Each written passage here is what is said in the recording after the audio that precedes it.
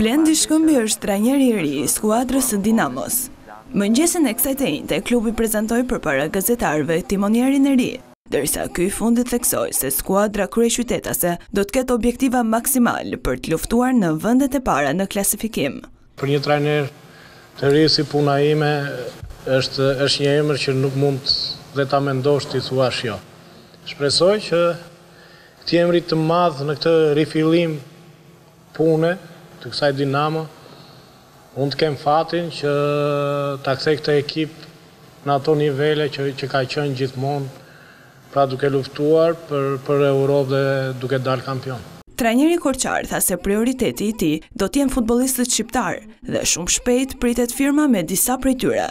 Ne si staf mendojmë që lojtarë të kampionatit shqiptar janë shumë të rëndësishëm dhe po punojmë që sa më shpejt dhe sa më shumë lojtarë shqiptarë të kemi bazën tonë me lojtarët shqiptarë. Dinamo rikthehet në Superligën Shqiptare pas nëntë vitesh. Blutë mposhtën Vorën, duke siguruar në këtë mënyrë matematikisht rikthimin në elitën e futbollit shqiptar.